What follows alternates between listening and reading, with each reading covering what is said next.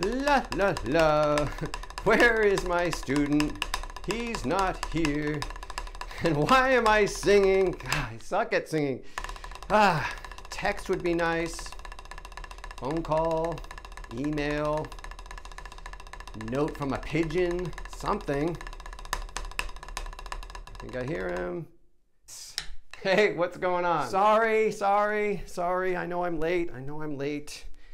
Yeah, I was doing like you said, I was studying up on how time signatures work and I completely lost track of time. No pun intended. Hey, nice outfit, by the way. Am I sensing a little sarcasm? No. All right, so tell me about time signatures. That's so easy. The top number tells us how high to count. For example, if we're in 3, 4, I'm going to count to 3. 1, 2, 3, 1, 2, 3, 1, 2, I'm in 4, 4, I'm going to count to 4.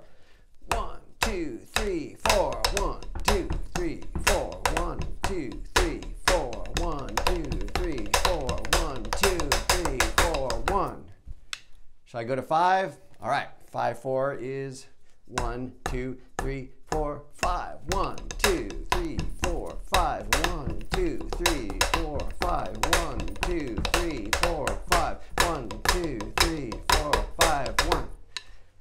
See, I totally got this. So, can we learn double bass now? Yes, but first, tell me what the bottom number of the time signature does.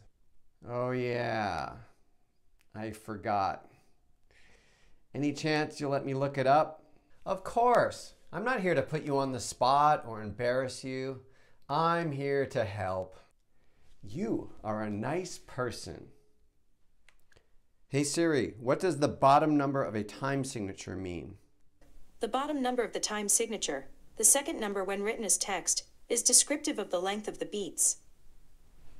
All right, I'll admit that was a little bit confusing, but I've got a bunch of books right here, theory books, snare drum books, drum set books, so they all basically say the same thing. So yeah, take your pick. Okay, it says the bottom number indicates which kind of note gets the beat. Huh?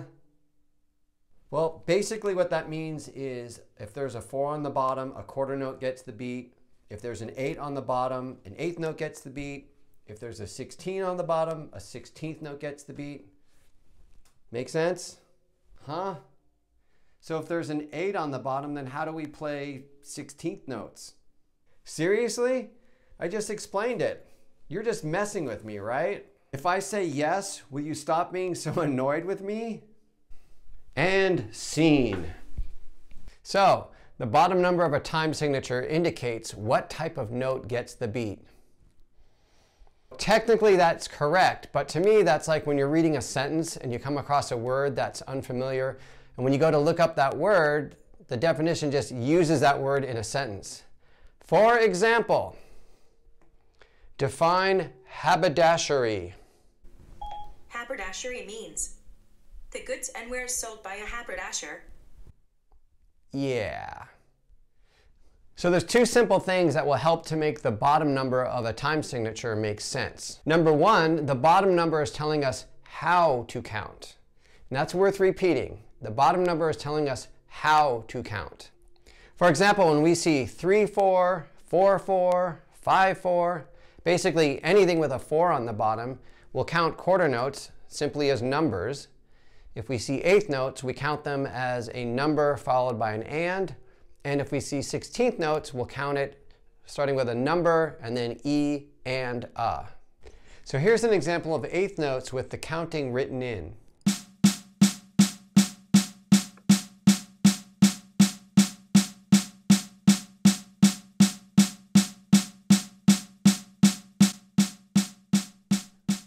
All right, so if there's an 8 on the bottom, rather than counting each note as a number and an and, we're going to count each note as a number. Here's that same measure of music, but notice this time that the time signature is 8, 8, and the counting is just numbers rather than numbers followed by ands.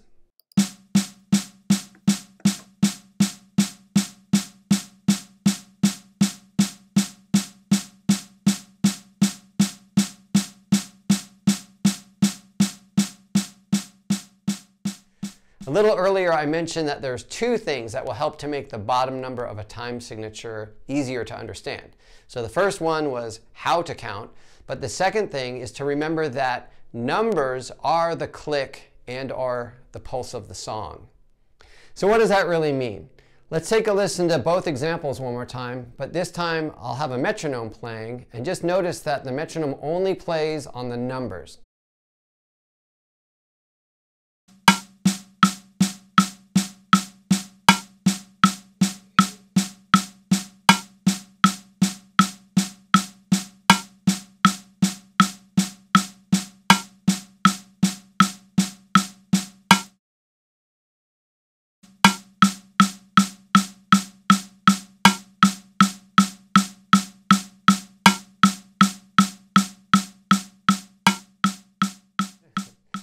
So now I'm going to go ahead and demonstrate a couple of eighth note grooves. The first one will be in 7-4, followed by a groove in 7-8. And try to notice a couple of things. Number one, the counting, and also how the metronome relates to the rhythm that I'm playing on the hi-hat.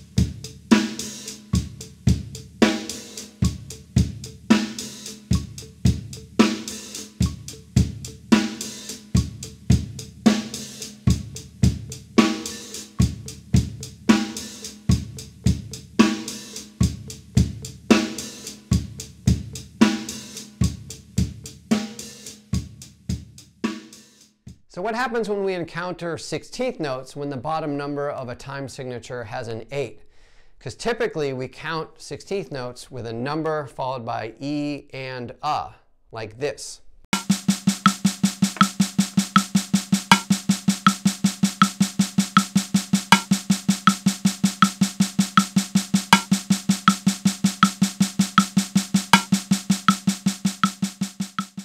So when we see 16th notes and the bottom number of the time signature is an 8, we're now going to count the 16th notes as numbers followed by ands, like this.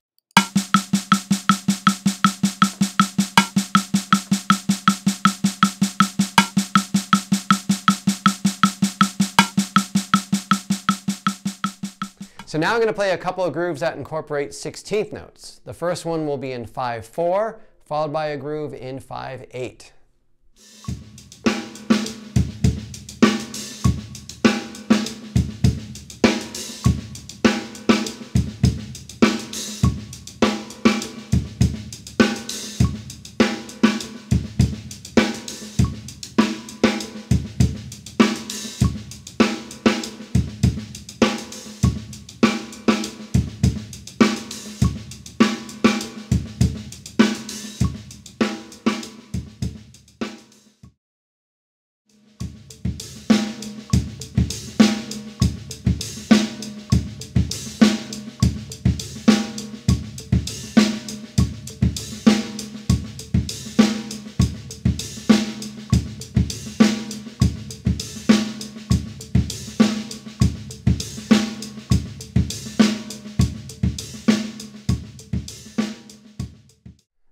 All right, so you want to dive into this a little bit deeper.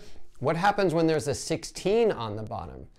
Again, this is just telling us how to count.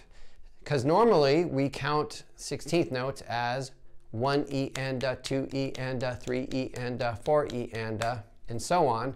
But now we're going to count each one of those 16th notes as a number. So let's start with a bar of 2, 4. I've set the metronome to 60 and I'm going to play 16th notes. So notice how the counting and the metronome work together.